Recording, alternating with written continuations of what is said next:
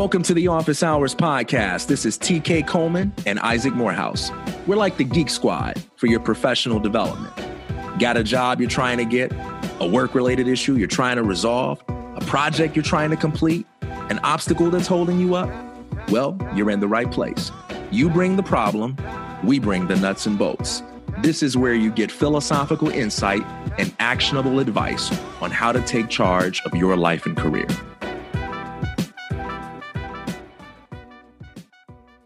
You sent me an article last night. I did. C.S. Lewis, The Inner Ring.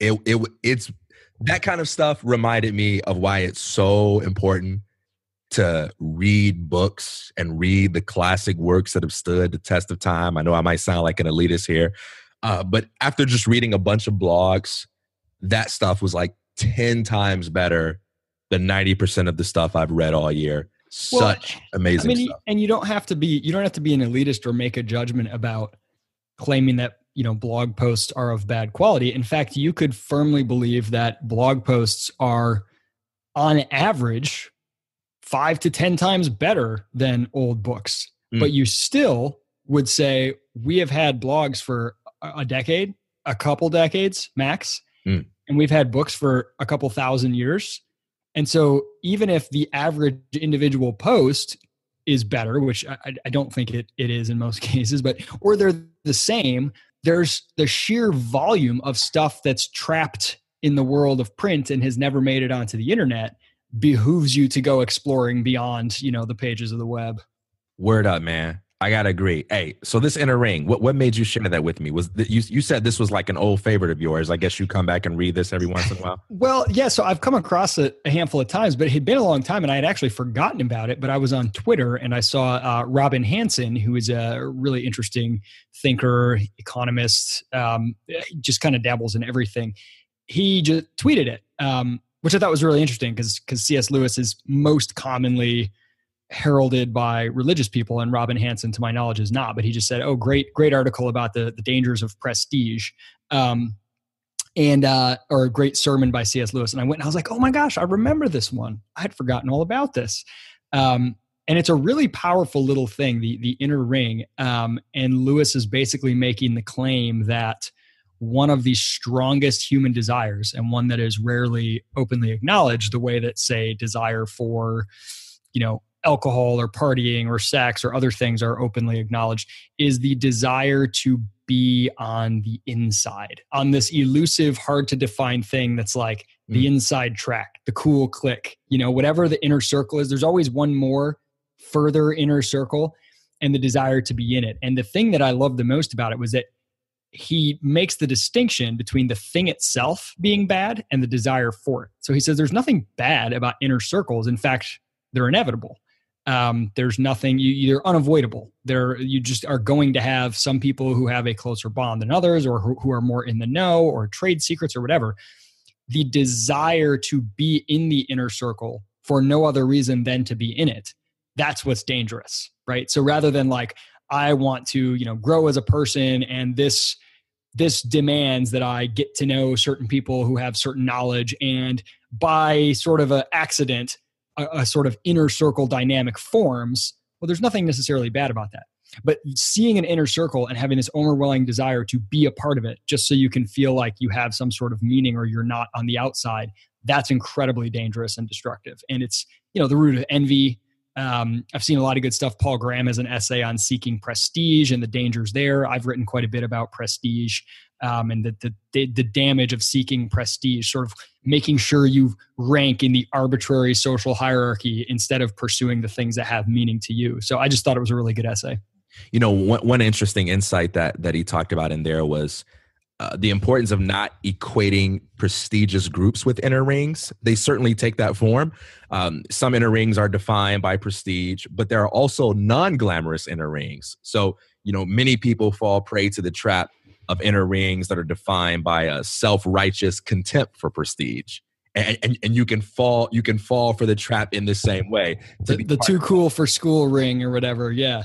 Yeah, yeah. I'm different for the sake of being different. Or I hate pop culture just because too many people like it. And and that comes off just as fake, just as inauthentic as anything else, and more important than how it comes off. It just to use Lewis's language here, it makes a scoundrel of you. You know. Mm, I hey, it. So, what what what's the solution? What do you do? Yes, you can fall prey to an inner ring, but but what's the thing that you do? I mean, for me, I have like this strong aversion, partially natural, partially cultivated, to anything that smacks of collectivism, patriotism, yeah. school spirit, you know, yeah. uh, being part of a movement, being a figurehead to other people, having a like now we have a very tight team in praxis, and I'm very partial to in, in Peter Thiel's book Zero to One, the idea that like all culture starts from you know the word cult, and a startup is a cult in a way, and all that is true. There is like a tight bond, and we're in the trenches together. But the minute that becomes a goal, like let's have an inside group, let's all like have this this bond that that's when it gets really insidious and that is just sort of a byproduct. It happens. And if and if there's ever a feeling that like the entire value of being a part of something derives from the mere fact that you are a part of it that's a dangerous place to be in. I never want to be in that place. You know i don't want to follow a thinker or read a book simply because i want to be a part of the group people who follow this thinker or people who read this book. That's really dangerous. And likewise i don't want people to follow me simply because they want to be a part of some group or some movement. Um, so I think constantly redefining your own goals and desires and interests and making sure what you're pursuing is because it helps you achieve something that you want to achieve regardless of what status it holds in anybody else's mind dare to be an individual there's a quote from that i'm gonna i'm gonna read then we can move on uh, where, where he says if you want to be made free of a certain circle for some wholesome reason. If, say, you want to join a musical society because you really like music, then there's a possibility of satisfaction. You may find yourself playing in a quartet and you may enjoy it. But if all you want is to be in the know, your pleasure will be short lived. The circle cannot have from within the charm it had from outside. By the very act of admitting you, it has lost its magic. Once Ooh. the first, you know, I'm gonna stop there. Yeah, yeah, yeah, yeah. Because that reminds me of the old. Uh, I think it's is it Mencken or maybe Mark Twain? I don't remember who it is, but who says, uh, "I would, I would never join any club that would accept me as a member." I used to have a friend at church who would say, "There's no such thing as a perfect church, and if there was, they'd stop being that as soon as they let you in." Yep. Yep. All right. All right. So the questions. I'm going to read the one that we previewed last week, and you can start. Uh, take a stab at it first. Let's do it. All right. So this was the preview from last week. I have lots of stuff to say about how to make improvements in our workplace. And I work at a job where we have regular meetings where employees are encouraged to share this kind of feedback. But there's one problem. I'm not an aggressive personality type, and I don't like to argue, and I feel like my opinions quickly get dismissed because of minor objections that I'm not aggressive enough to respond to. This is mostly because other people are louder than me. What can I do? All right, look, I'm gonna give you three things. Number one, you got to know your audience whenever you're giving a message, offering feedback, or making any kind of statement, there are people present who are a part of your audience. They are the people you want to reach. And there are people present who are not part of your audience. And sometimes the loudest, most difficult people to deal with are the people that you aren't even interested in reaching anyway. But those people have an alluring ability to drag you into distracting sideshow discussions that have nothing to do with you moving your agenda forward. We joke about this a lot on Facebook how you can you can make a statement and you know who you're speaking to. You know who you want to influence with that resource you're sharing. But who's the loudest person? It's always the person that never would be a potential customer. It's always the person that just doesn't share anything in common with your passions or your philosophy or your product. And as I heard one writer say, you have to be able to detect when you are getting yourself into a pissing match. So if you're in a meeting and you're throwing out ideas and other people are being loud and aggressive and dismissing your ideas, ask yourself, are these people even in my audience? If you're in a meeting with Janet and Steve and Janet says, let's hear what you got, and Steve is quick to dismiss, don't even pay attention to Steve. Don't even talk to him. Just look right at Janet and say, so Janet, what do you think? That's the first thing. Number two, people that are disagreeable and aggressive can be very easy to deal with once you tap into the power of questions. So let's say you have an idea, you put it out there, somebody jumps all over it and you feel like, oh, I can't go toe to toe to this person. I, you know, with this person, I can't make any objections. I can't be as loud as them. Step back and do to them what you would love for them to do to you. In the words of St. Augustine, seek first to understand, then to be understood. Say, okay, you say my idea is crappy. Why, why, why do you think that? Why do you say that? And then give yourself the opportunity to learn something, listen to what they say. And even if it's bad, instead of objecting, just say, all right, I hear what you're saying. What would you say to somebody who says this? Or how would you address this objection? Just take everything that you already believe, put it to them in the form of a question. Since everybody already loves to talk about themselves and their ideas and they love to defend it against objections, they will go on and on, and you will have used the power of questions to make sure that your idea was on the table for a substantial amount of time and that it got a lot of discussion. Here's the last thing I'm going to leave you with don't give yourself an out. Don't automatically assume that just because someone jumps over your idea or disagrees with it in a way that might strike you as rude, that your idea is really good. And the only reason it's being rejected is because people just don't want to understand. Because here's one thing I've learned about people, and that's this no matter how mean people are, no matter how selfish people people are, at the end of the day, if an idea can make their lives better, they don't hate you enough to dismiss that idea. So if you have an idea and you can show people that this idea will benefit them, their hatred for you aside, they will latch on to the idea. So when people dismiss you and reject what you have to say, take it as a personal challenge to improve your ability to sell your ideas in a way that makes people want to listen. what you laughing at? I'm so glad we do this show together. That's so much better than the answer I was going to give. well, well, see, I probably gave like the nice passive answer. You got an aggressive one coming. No, no, I was the first thing I was going to say was, oh, just learn to shout more, get more argumentative. I grew up in a household where we interrupt each other all the time, or, and it's like there, it's this known thing that taking a side or passionately debating something is not the same as actually believing that thing to be true. Mm. It's like when you are exploring something you just passionately defend it against all objections. You take you kind of you dive in you interrupt. There's this big like lively thing going on. And then after you've done that you step back and decide whether or not you actually believe it or whether it's good. That's part of the exploratory process. And i always feel and i'm still like that i'm sure many of my teammates tk included uh, hate it. I have an interrupting problem. I, i'm not always aware that my audience is not all the same as you know sort of my family members i grew up with and whatever so I'm, I don't think that's actually a good thing unless the other parties are um, down with that and, and able to do that. But I always wish more people were. I love just a good raucous discussion um, as part of the exploration process. But so that, so that would have been my answer, which I think is not nearly as good as TK's. Um, but I will but I will add one small thing, which I mentioned in a previous episode, which is anytime you can hmm. change a we should into an I did or an I will. So if you have a suggestion for something that can be done differently, rather than, hey, we should do this, which if you are not a loud, aggressive person who's really persuasive and, and outgoing, it can get shot down.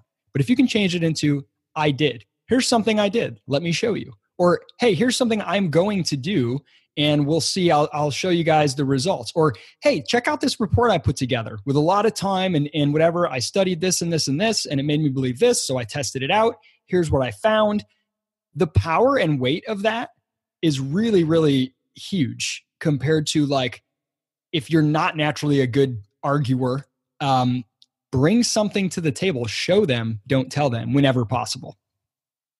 I love it, man. All right, number two, TK and Isaac. I've heard both of you speak multiple times, and I really admire your respective styles. What are some things I can do to become a better public speaker? Did you make that question up just to flatter us?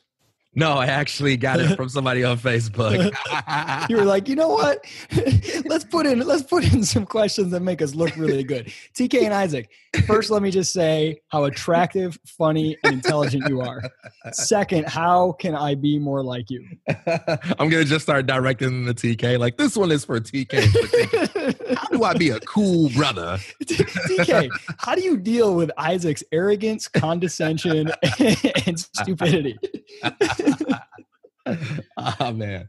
All public right. speaking. We, we, yeah, go ahead. You take this one first because we I think we have externally maybe very different ways of arriving at our public speaking you know um, abilities but in in many ways there's a lot more similarity than maybe can be assumed so you, you take a stab at it first what are some things you can do to become a public uh, better public speaker yeah man so my, for, for me first and foremost speaking is a means to an end the end is to get a point across that you got to say right so speaking begins with having something to say it doesn't begin with an obligation you don't speak because you have to you don't speak because you see it as a virtue to be good at speaking. You speak because you've got some kind of message inside of you that if you bottle it up and suppress it, you're just going to explode. You're just going to die. You, you, you won't be happy.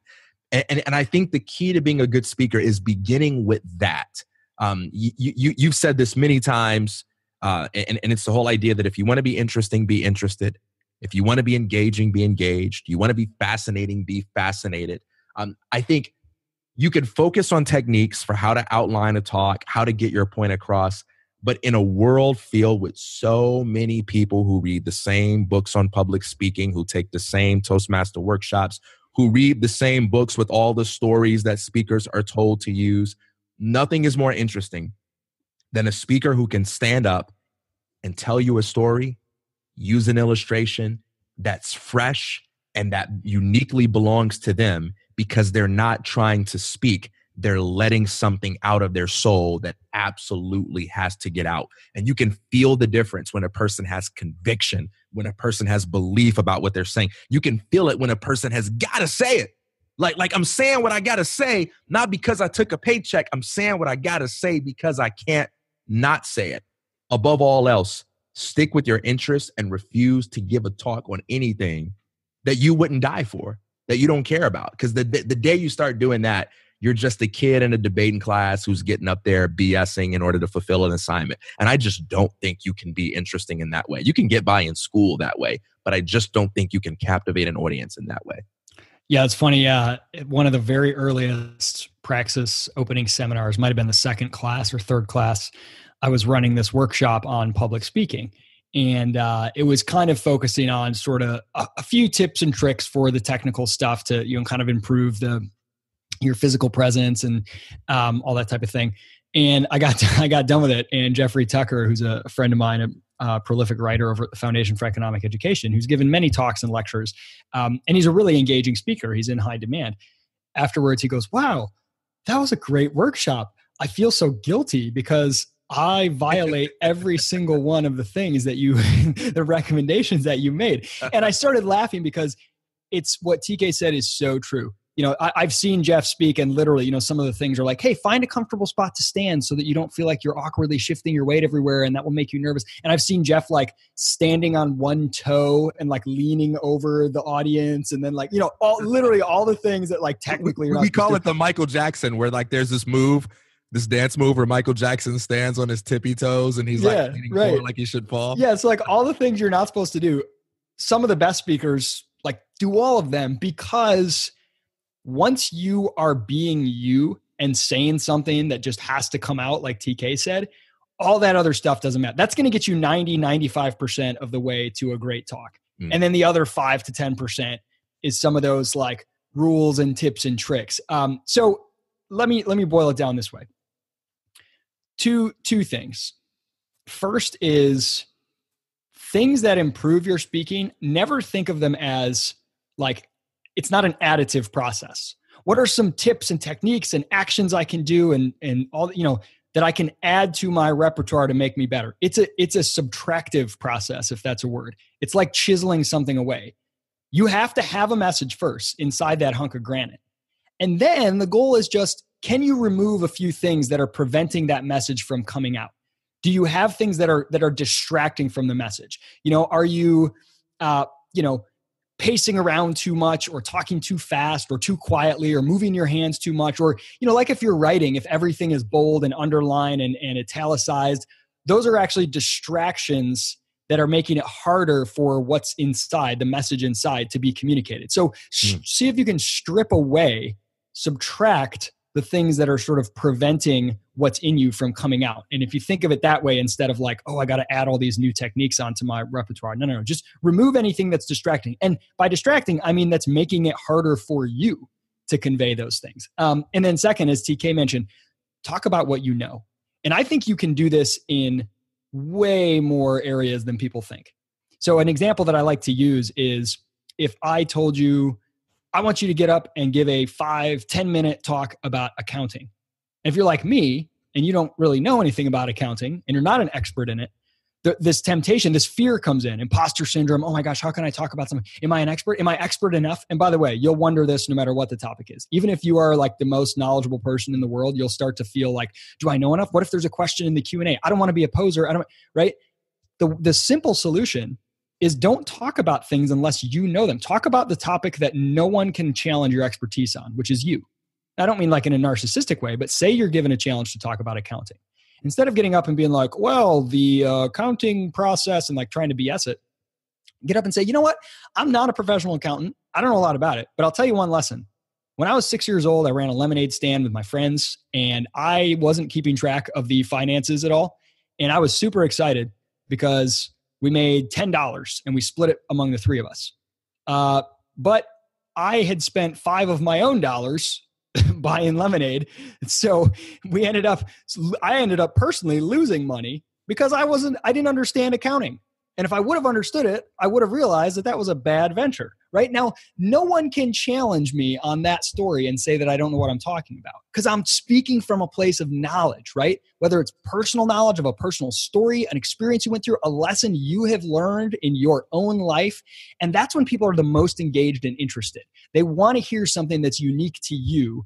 And I think there's a lot, people have a lot more to offer um, that's unique to their perspective than they think. And, it, and, and nobody cares that you're not the world's most knowledgeable accountant if you tell them a memorable story from your own experience. So speak from a place of true knowledge, which begins with you and your personal experience. And then think of all other stuff as just removing distractions that are keeping that message from getting to your listener.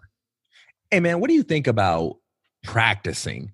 I know you and I are big on on on this whole idea that if the risk of the learning process aren't real. The rewards aren't real either. But do you think this applies to public speaking? Do you think it makes a difference between, you know, uh, gathering together six or seven friends and saying, I'm going to stand in front of you and, and practice giving my talk versus doing it for a real audience where there's a huge cost? Or, or well, I mean, recording a video and sharing it on Facebook or something like that? I think practice is always beneficial when you've got a reason to practice. Like if you're just sort of i want to practice public speaking just in case like i think it will be it could it could be beneficial if you're really interested and motivated to it. But nothing hones it like i know i have to actually give a talk at some point coming up in whenever a week a month a day. And that drives your practice in a really great way because it helps you put yourself imaginatively in the game time situation. Um, and whether it's you in front of a mirror or recording yourself or in front of some friends like absolutely. I mean it's just like practicing basketball. Like no one would ever claim it's a substitute for the game and practice without any real world context of what it feels like in a game is far less valuable than practice where you can you can imagine how this is going to contribute to to game time. So yeah i'm a huge believer in preparation um, in practice you know I, I, make outlines before i give a talk um, so that i can you know remember all the points i want to make in the order i want to make them in. Um, i don't script out the whole talk or memorize it but there are times where i will take that outline and i will give a talk and i want to see is it how long is it? Is it good? Is it rumble, rambling? Did i take too long on this point? And then i'll kind of like give myself little notes to remember for when i go in live. Um, and i used to do that a lot more now that i have much more intimate knowledge of the things I want to say and the way I want to say them. I don't have to do that as much, but um, but yeah, I'm a big fan of that. All right, man. You got time for one more? Yes, I do. All right. This Read it. Real, Read it. A, a real one, baby. I feel like my life is getting more difficult because I know so much. That may sound arrogant to you guys. it does. But I honestly don't believe that most people are good at thinking critically. It's as if everyone is afraid of being honest with themselves. So they just BS each other with superficial and fake conversation. I believe it's my calling to connect with people and help them. But how can I be polite and conversational with people when I think they're being kind of stupid? Oh, man. Um, Look, I firmly agree that most people aren't good at thinking critically, uh, including the asker of this question. and I completely agree that people are often afraid or incapable of being honest with themselves, as I think is the asker of this question. Because I hear two different things in here.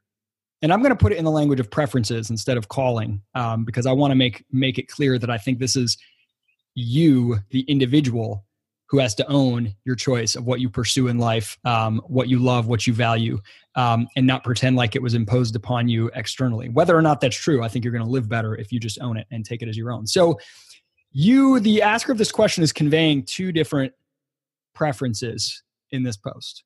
One, I don't like talking with people that I don't think are smart uh, or you know they're not intellectually stimulating to me. Um, if that is true, stop doing it. Who do you want to be a hero for? If you don't like being around people and it drives you nuts to talk with them, don't talk to those people. They're not your audience. Forget them. Focus on the people that you do. Mm. But then I hear a second thing being conveyed. I believe it's my calling to connect with people and help them. And there's no qualification, basically, all people and help, all, connect with and, and help all people. So now you're telling me your preference is to connect with and help all people. But which one do you want? You say that you really don't like talking with people who are unintelligent uh, from your perspective, but you say that you really want to help and connect with all people. One of those is untrue. And you have to have the self knowledge to figure out which one. Are you really the type of person that genuinely wants to connect with and help all people, regardless of intelligence or ability to articulate themselves? If so, you're going to have to deal with this feeling you have of frustration with people's lack of intelligence. Um, and there must be something else going on there. If the opposite is true, that you really just don't enjoy talking with people who aren't very intelligent, then you're going to have to stop pretending that you want to help all people and connect with all people. And whatever you decide is true of you, accept it, run with it, and don't feel guilty about it. Man, you put the hammer down, man. You put the hammer down. All right, let me follow up with that. let, me take the edge off a little bit. let, let, let, let, me sweeten it up a little bit. Put a little Let's put a little honey in the vinegar. I'm, I'm, waiting for the ladies' man voice. I'm waiting for it, man.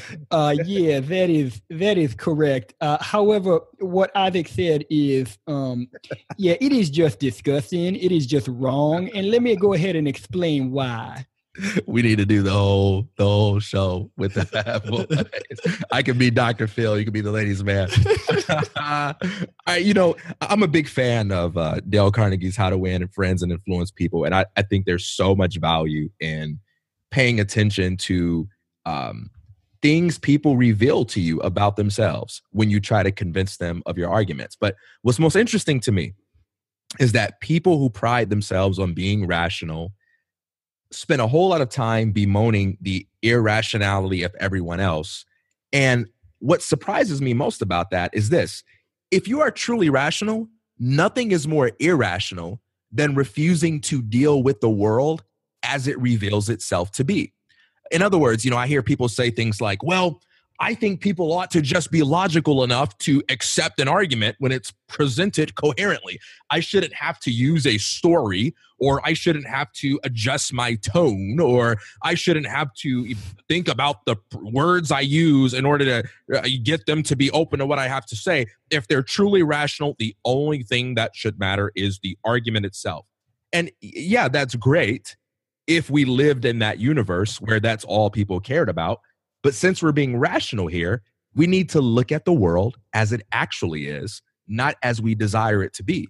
And the world as it actually is, is a world in which other factors influence people's thinking besides your arguments about what you think is reasonable.